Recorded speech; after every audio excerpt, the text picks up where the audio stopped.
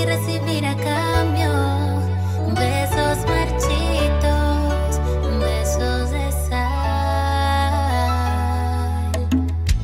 Lo que pudo ser como un